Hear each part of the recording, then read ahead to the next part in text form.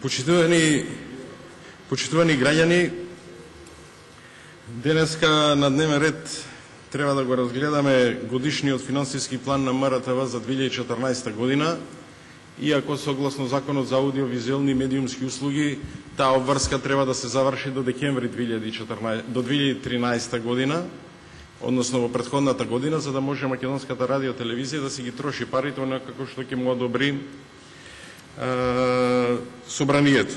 За жал, еве денеска сме 28 27 28 февруар. За жал, дури денеска предпоставам парламентарното мнозинство ќе го изгласа овај за мене скандалозен финансиски план и од процедурален аспект, ако сакате и од финансиски аспект. Покрај тоа, на Комисијата за транспорт и врски, пресателот кој што поодамна има узурпирано својата функција и се наметнува над пресателот на собранието, дозволи да се разгледува извештајот без присуство на представник на Советот на Македонската радиотелевизија. Односно со вработени во македонската телевизија кои што не одговараат согласно законот за или во делот на ингерен, ги немаат ингеренциите што ги има програмскиот совет на македонската радиотелевизија. Зошто?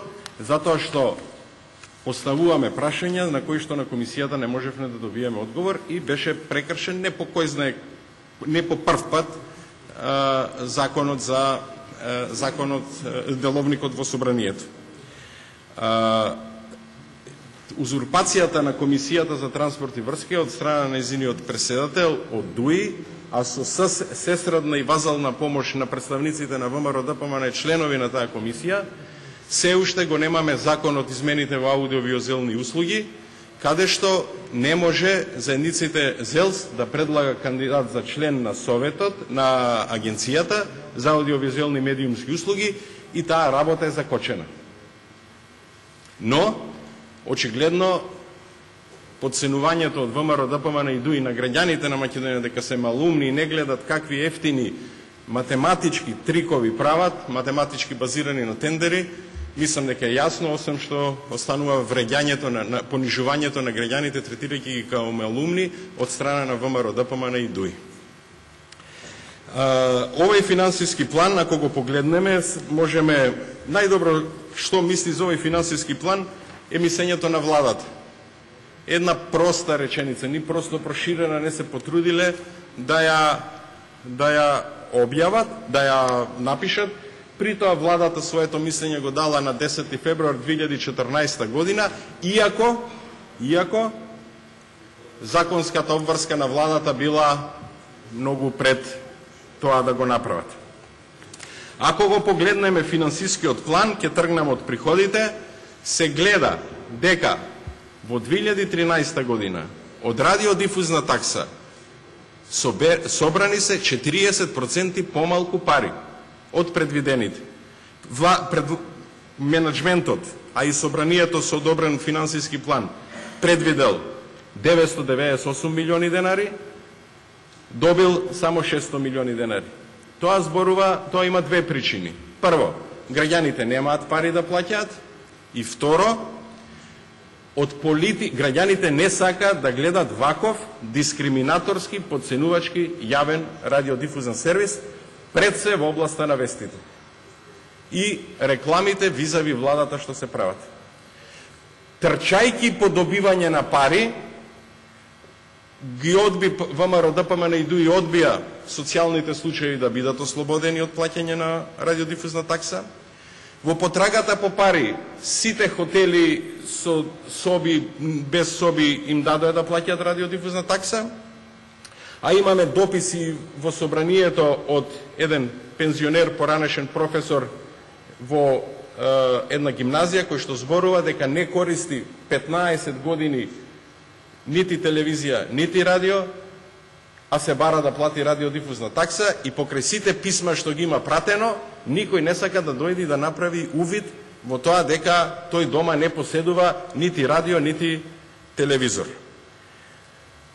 Владата на ВМРО ДПМН и ДУИ намерно или со пари на граѓаните за жал го финансира овај подценувачки сервис кон граѓаните во делот на вестите, информирањето и рекламите, со приход од буџетот за една ставка 2 милиона евра, за кој што не знаеме која е намената, со законот што Бонева со амандман со Неджатија Купи го донесе за финансирање на програмите од 2 милиона евра, со делот на дигитализација за кој што се уште не знаеме како се потрошија парите од Агенцијата за електронски комуникации која што требаше да купи сета боксови за процесот на дигитализација за граѓаните, ама немаме повратно каде се тие потрошени пари, а гледаме дека не сите граѓани ги имат добиено и вкупно македонската телевизија располага со 24 милиони евра за плукање по опозицијата, за дискриминирање на луѓето по определбата за девалвирање на личностите кои што се од опозицијата и така натаму и така натаму. Иако во законот и предходниот за радиодифузна дејност, а и овај за а и овај за аудиовизуелни медиумски услуги експлицитно пишува. Дека МРТ е должна да обезбеди постојано, вистинито, целосно, непристрасно, праведно и навремено информирање, да промовира и напредува културата на јавен диалог, да не застапува и не заштитува ставови или интереси на одредена политичка партија. Ние сме сведоци дека на македонската телевизија, освен, освен 15 минути од владата, има 5 минути црни вести и толку.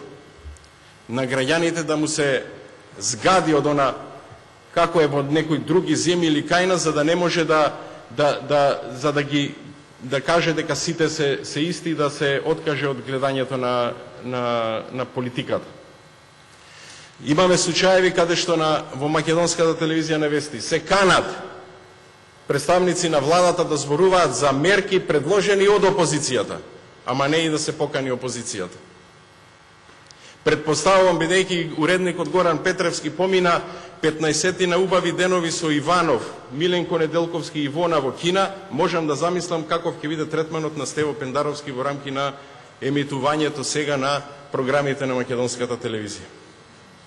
Ние имаме единствена случај во, во овај момент, каде што кога имате спортски пренос, не можеме да го видиме резултатот бидејќи има реклами од владата. Има кајрони што е некој за некои реклами и така натаму и така натаму и без одобрен план влезе македонската телевизија во еден од најглупавите и смешни проекти, а тоа е награди за најдобрите, се разбира во новиот театар од 40 милиона евра, кај што награда доби новиот театар, кај што награда доби теат, представата што се емитуваше во тој театар, каде што награда си доби фестивалот што го организира македонската телевизија. А без одобрен финансиски план. И се разбира, добија три министри од ВМРО да ДПМН и три градоначалници од ВМРО да ДПМН. Нормално Дуи не доби, бидејќи тогаш тој размислуваше за консензуален кандидат во превод консензуални парламентарни предвремени избори. И затоа ако го погледнете финансискиот извештај од овие 24 милиона или она што се планира, тоа е исклучиво во партиска се користи за партиска пропаганда на ВМРО да ДПМН. ДУИС има свој канал тоа да го прави. Во кој што се фаворизираат, на пример, наместо едукација, и тој пример го дава, за, за едукација на вработените користите 200.000 денари. Но затоа, како и другите регулаторни тела, агенцијските услуги за обезбедување, обезбедување ви се 4 милиони и 400.000 денари. Отворивте владата, отвори факултети во секое село, ама затоа за едукацијата дава само 200.000 денари, ама за тие кејави со ланци од СГС дава по 4 милиони и 400.000 денари. Така ги учите младите. Така е АЕК, така е регулаторната комисија за енергетика. Фрлете ви се во факултетот, ова треба да бидете обезбедување, зашто владата плаќа огромни пари. Ако го гледате и трошоците за е, квалитетна работа, тие се намалени, но затоа пак, како што се правата на откуп на филмови, дупло помалку сте намалиле, не почитувајќи ги интелектуалните права и собственост или планирате тоа да имитувате. Но затоа, за дупло го зголемивте на доместокот за фестивалот Евросонг, а пола држави од Европа се откажаа од тоа. Цело соседството кај што добивавме 12 поени нема да учествува. Дај Боже некој да, да добие, да, да гласа за нас. Но затоа, во 2013 година имавте нула денари за независни продукции, годинава имате 450.000 евра. Или програми што вас ви се допаѓаат, односно на владата, ќе ги гледаме и сите тие се поврзани нешто со ВМРО. Една бар емисија да направевте за ДУИ, еве не мора за од опозицијата. Или за херои кои што се општо признати во Република Македонија. Но тоа го користите за промена на историјата во Република Македонија. И затоа додека Паско Кузман со Иванов не залажуваја со некои палјурци, со некој минато што не припаѓа на овие простори, Паско Кузман позади си крадеше од вистинските и реални артефакти од Македонија, кои што се македонски идентитет. Ама ние се залажувавме по Иванов и по Паско, вие сакавте да создадете друга, друга слика. И сите емисии што ги правите се такви. Да го промените македонскиот идентитет, да не убедите дека не сме она што сме и да ја промените историјата во Република, во Република Македонија.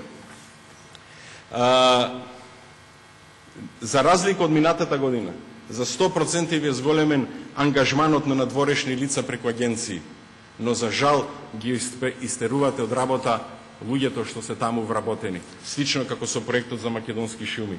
1400 луѓе преку лотарија, но затоа оние вистинските и вредни работници се на улица за да може криминалот да тече.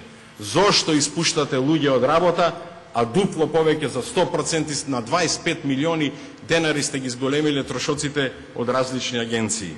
За жал, целата оваа состојба придонесува Македонија да биде на срамното место на репортери без граници на 123-тото место.